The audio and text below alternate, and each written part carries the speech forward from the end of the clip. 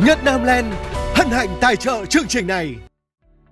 Cụ thể, các bộ ngành địa phương phải chỉ đạo các tập đoàn kinh tế, tổng công ty nhà nước, doanh nghiệp nhà nước và các cơ quan liên quan khẩn trương lập phương án sắp xếp lại, xử lý nhà, đất, trình cấp có thẩm quyền phê duyệt theo đúng quy định của chính phủ về tài sản công. Trong thời hạn 30 ngày làm việc kể từ ngày nhận đủ hồ sơ, Ủy ban nhân dân các tỉnh thành phố trực thuộc trung ương phải có ý kiến chính thức đối với toàn bộ diện tích đất doanh nghiệp sẽ tiếp tục sử dụng sau cổ phần hóa và giá đất theo quy định của pháp luật về đất đai để làm cơ sở cho việc xác định giá trị doanh nghiệp theo quy định tại khoản 6 điều 30 nghị định của chính phủ.